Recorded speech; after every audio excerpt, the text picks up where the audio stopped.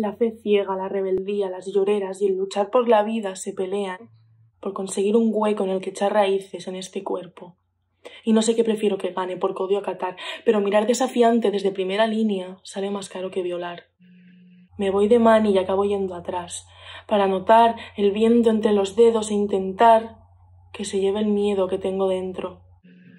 Se me acerca un poli que me susurra que me aleje, que tenga cuidado, y huele peor que los curas que agreden en las parroquias, en casa del rey y en la escoria del Opus Dei.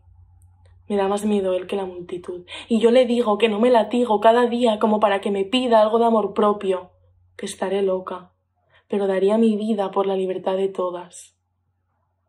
A veces tengo dudas de si la lucha da sus frutos pero lo intento, porque se lo debo a las del futuro, para que recordemos que muchas han caído, pero jamás en el olvido.